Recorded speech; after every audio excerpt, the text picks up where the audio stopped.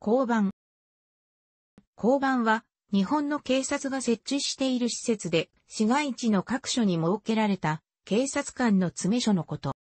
通常は、警察署地域課の警察官が勤務している。英訳語としては、ポリスボックスが当てられるが、音訳のローマ字で、と表記される場合もある。警察官の間では、箱と呼ばれる。警察用語では、PB と呼ばれている、口述。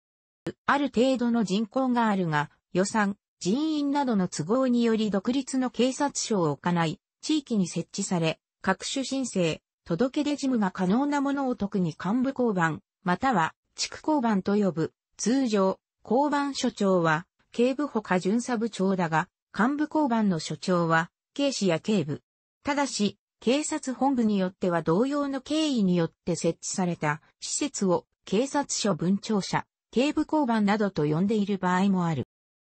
なお、庁の故障が交番庁ではないのは、正式名称が派出所であった時代の名残である。トップは派出所長だった。警察署の所在地付近の区域は、警察署の地域化にその区域を管轄する交番としての機能を持たせて、パトロールや巡回連絡などを行っている場合がある。これは、諸所在地と呼ばれ交番の一つとみなされる。ただし、警察本部や警察署によっては、諸所在地がない場合もある。警視庁管轄下の場合は、ほとんどの地域に警察署が設置されているため、幹部交番はほとんど見られない。しかし地方では、近年、人口の増加してきた地域の普通の交番を幹部交番へ格上げすることある。また、人口減少による警察署の統廃合によって幹部交番へ格下げになることもある。通常は2人から3人1組で24時間交代、つまり、交番、交代で番に当たることで勤務に当たる。下白設備、畳敷きの部分と、布団、執務部分からつながる非常を呼び出し用のベルもある。パトロールや事件処理以外での外出はやたらにできないので、食事は出前を頼むことが多い。特殊な事情がある場合や、繁華街の交番では、警察官の人数が増員されているケースもある。警察内の隠語では、PB、ポリスボックスの略と呼ばれ、警察官同士の会話や警察無線での通話などで使われる。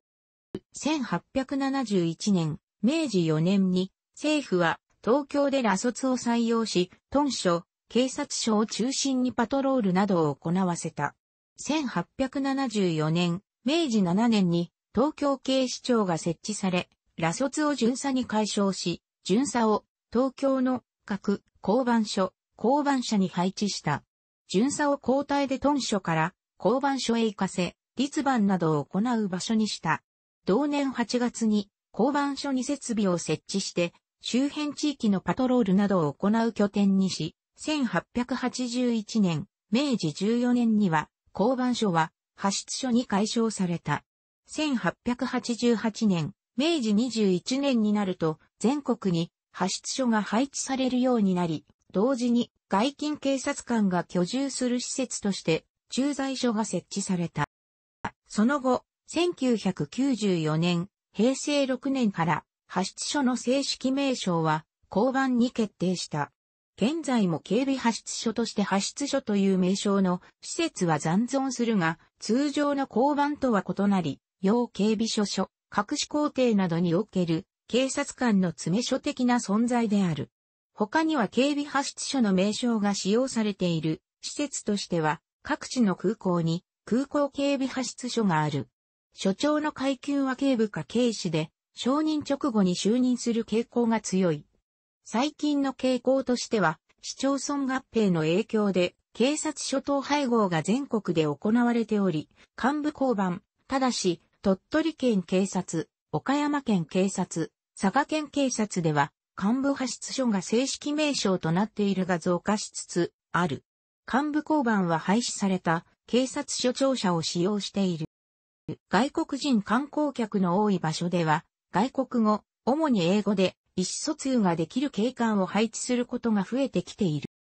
交番と駐在所には都道府県公安委員会の規則などにより管轄区域が割り当てられており、交番の勤務員は通常はその範囲内の治安維持に当たる。ただし、本署の指示があった時や、緊急の場合には、管轄区域に関わらず出動する。また、交番の勤務員は、例えば、パトロールカーによるパトロール、留置管理、被疑者の護送、重大な事件の捜査など警察署の他の部署の職務の応援に回ることもある。これを、補金、補金という。市街地の各所に警察官の詰め所を設けることで、周辺地域の治安の維持と住民の利便を図ろうというものである。交代で番号するところであるためこのように呼ばれる。日本の治安が良好な要因の一つは、全国の交番にあるのではないかと、他の国からの注目は高い。原則として、担当警察官の交代勤務により、警察官が24時間常駐している。しかし、警察官が減少しているため、一定時間のみ警察官が滞在する交番や、警察官を配置せずに、テレビ電話を置いただけの無人交番も運用されている。このような問題を抱えている交番を、空き交番ということがある、口述。このことで、暴漢から交番に逃れたものの無人で、結局暴行を受けた、などの事件も発生しており、課題となっている。交番は地域課のパトロール担当の警察官が常駐するところであるだけでなく、110番通報するまでもない状況の時、例として万引きの犯人を取り押さえて引き渡すには、警察官の出動依頼も可能ある。110番通報よりも最寄りの交番に電話をかける方が警察官の現場到着が早い場合もある。電話を受けた交番では、制服警察官が黒バイや自転車で飛んでいく。また、神奈川県警察、兵庫県警察、岡山県警察などでは、交番、駐在所の電話番号を公表していないため、一般の電話から交番に直接かけることができない地域もある。ただし、電話連絡を受けた。警察官は、その連絡の内容を本署に報告し、指示を受けてから出動するほか、重要事件の場合はその警察官がさらに交番から110番通報をして、本部組織、機動捜査隊や鑑識課などの応援を要請してから出動するので、かえって時間がかかることも多く、緊急時には交番や警察署ではなく110番へ電話をかけることが推奨される。その他、管轄地域内で起こった事件、事故などの報告などが可能である。また、交番には、付近の住宅地図が蔵書されているほか、日常的に管轄区域のパトロールを行う。警察官は、近所の地理に詳しい場合が多いため、交番で道を尋ねる風景はよく見られる。警察内部では、地理案内と呼ぶ。また、交通量の多い交差点に面して設置されている交番では、交通の監視の機能を持たせ、スピーカーを通して注意を促したりする場合もある。このほか、交番の職務の中に巡回連絡がある。これは、管轄区域内の住宅や事業所などを交番の勤務員が巡回し、住宅であれば、世帯主をはじめとする家族構成、勤務先や通学先などを、事業所であれば、業種や従業員数などを、それぞれ兼任や経営者などから直接聞き取り、交番備え付けの巡回連絡簿に記載するというものである。管轄区域内の住民などは絶えず流動しているため、半年から1年ごとに区域内すべての住宅、事業所を巡回することを目安としているが、他の業務との兼ね合いもあり、必ずしもこの通り実施されてはいない交番もある。総務省による警察に対するアンケート調査の結果、交番にはいつも警察官が常駐していてほしい、いつもパトロールしてほしいとの相反する要望がある。この国民の要望に応えるため2003年、平成15年8月から福岡県警察は全国に先駆けて、交番、駐在所の再編を行い交番の大型化などを実施し、治安の回復など一定の成果を上げている。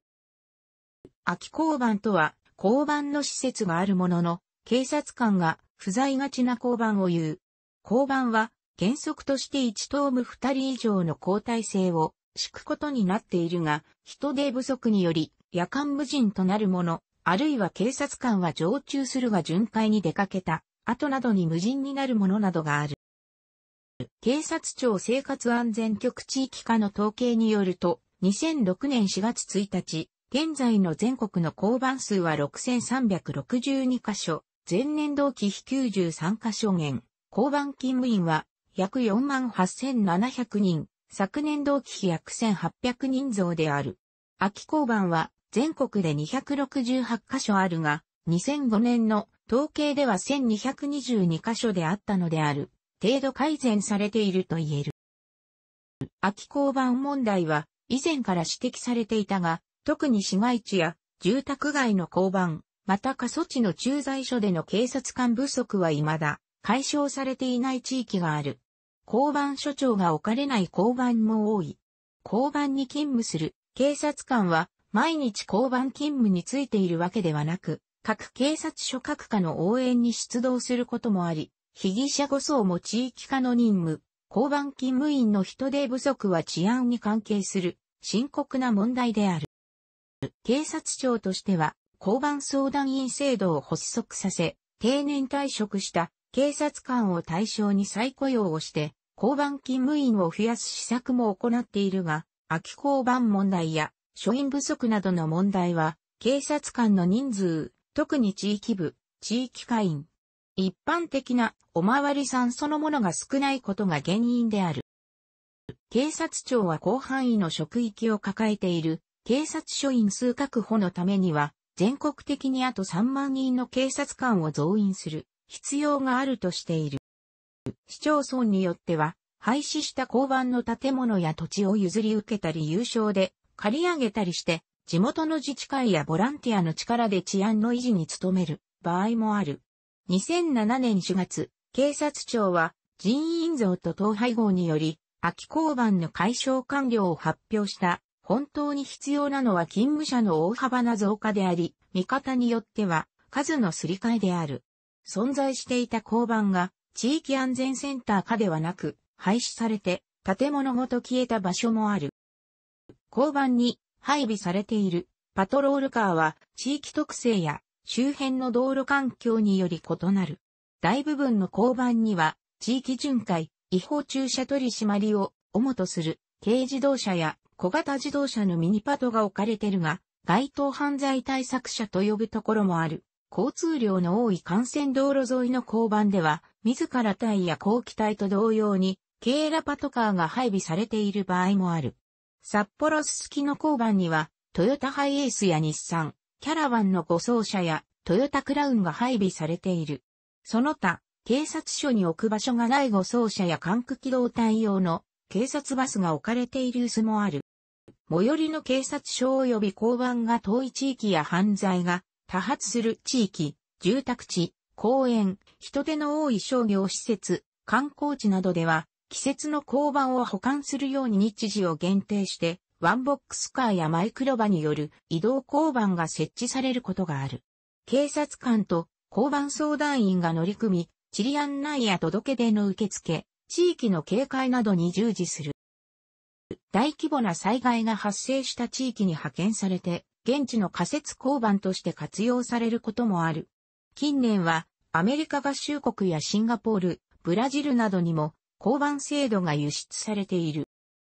ハワイワイキキには、ホノルル市系のワイキキビーチ小番が、ニューヨーク市のマンハッタンにも交番が設置された。ロサンゼルス市警察は、ショッピングモール、ザ・グローブ前に、ボーポリスボックスを設置した。ロサンゼルスの場合は、日本のような24時間体制ではなく、運用時間が正午から夜10時までで、時間外は無人で閉鎖される。インドネシアやブラジルサンパウロ州などでは、日本の例を参考にして、交番制度が導入されている。特に、サンパウロ州では2005年からの導入で、殺人事件などの犯罪が大幅に減少した。シンガポール警察は幹部候補生を日本に研修に派遣し、警視庁すきや橋交番に勤務させて、交番制度を実地で体験させるなど、積極的に制度を輸入した。大韓民国、中華民国では、以前から日本とほぼ同様の交番が存在するほか、中華人民共和国にも交番が新設されており、いずれも派出所と呼ぶ。ただ、上海市公安局の交番はおおむね日本のそれより規模が大きく、アメリカの警察署、または文書の規模である。楽しくご覧になりましたら、購読と良いです。クリックしてください。